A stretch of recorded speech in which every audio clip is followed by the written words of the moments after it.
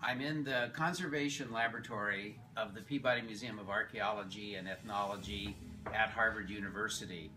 And the conservators are preparing objects for an upcoming exhibit.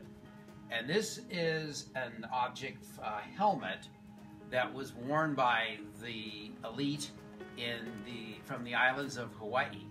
Uh, they wore it uh, both in ceremonies and in warfare.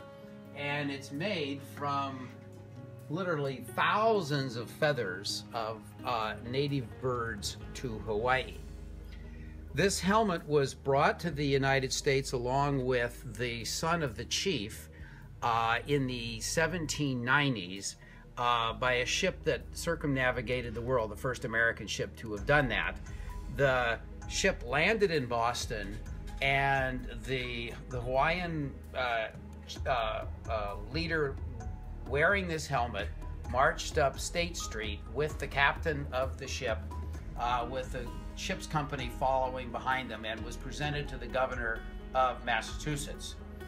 Uh, he was then the governor was then given the helmet, and the helmet was eventually given to then President George Washington.